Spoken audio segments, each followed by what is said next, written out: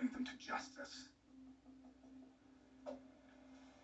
Ah, there you are. Any news? Did you find who shot my son? Not yet, but we're on it. I wanted to talk to Steffi earlier, but the doctor says she wasn't ready.